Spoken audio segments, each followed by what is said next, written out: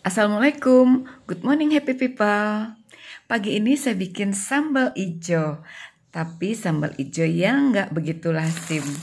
Karena sambal ijonya ini menggunakan ikan penja.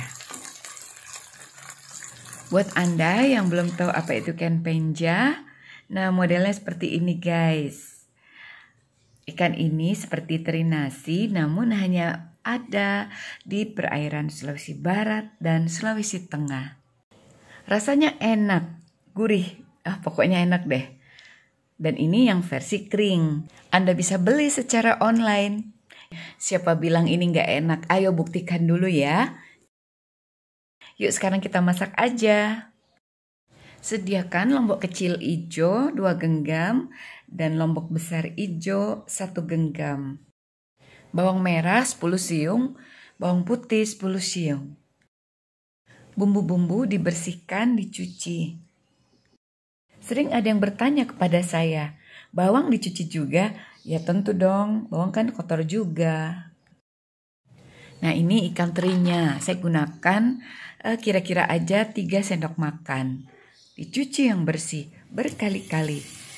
Uh, saya ini cucinya sampai 5 kali ganti air. Cucian pertama airnya butek kayak gini guys.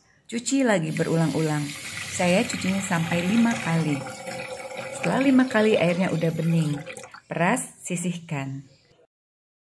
Nah ini bumbunya sudah siap untuk dimasak. Bawang putih dibelah dua, bawang merah juga gitu, kecuali bawang merah yang ukurannya sangat kecil.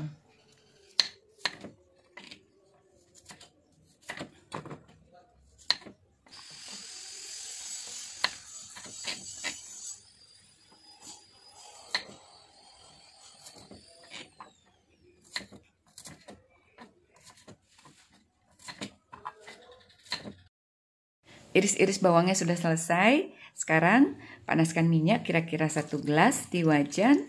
Setelah panas masukkan lombok besar yang sudah disayat-sayat sedikit tadi.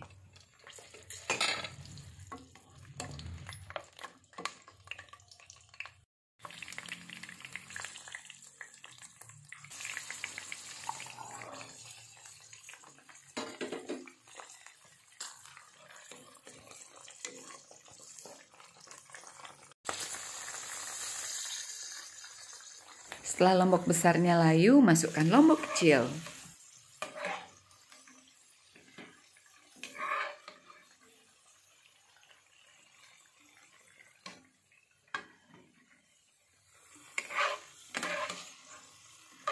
Setelah lombok kecilnya layu, matiin kompor, dientas, ditiriskan. Lombok yang sudah ditumis sebentar, dihaluskan. Ini saya gunakan cobean aja karena lomboknya sudah lembut sekali. Jadi paling serak serak serak serak serak lima kali udah deh, udah beres. Udah kondisinya nggak halus banget dan memang sambal ini nggak perlu terlalu halus. Jadi agak kasar-kasar dikit. Happy people, kalau suka dengan resep ini beri like ya. Dan yang belum subscribe channel Yoyok Legit, jangan lupa di subscribe dulu ya. Klik juga loncengnya guys, agar selalu dapat notifikasi setiap Yoyok Legit unggah video baru. Makasih ya. Nah sekarang ikan penja kita goreng.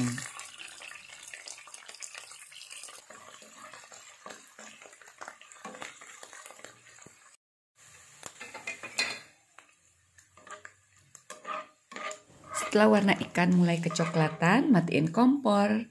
Entas, tiriskan.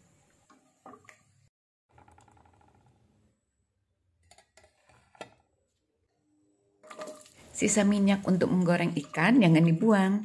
Panaskan kembali, kemudian tumis bawang putih terlebih dahulu. Sampai bau langunya hilang. Berikutnya masukkan bawang merah.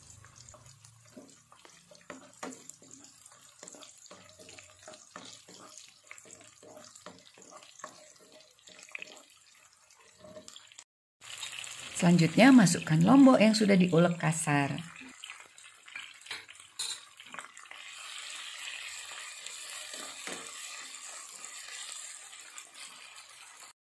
Yang terakhir masuk ikan penja yang sudah digoreng. Setelah itu dia udah diaduk-aduk. Gak perlu lagi ditambahkan garam, gak perlu ditambahkan bumbu penyedap. Perpaduan ini sudah pas banget.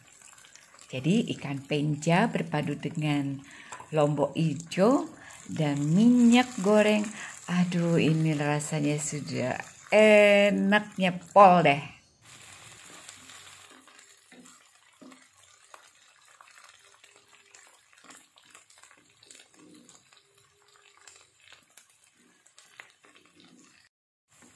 Nah lihat nih guys hasilnya seperti ini. Siapa bilang ini nggak enak? Ayo buktikan dulu ya. Cobain bikin sambal hijau ikan penja. Selamat mencoba.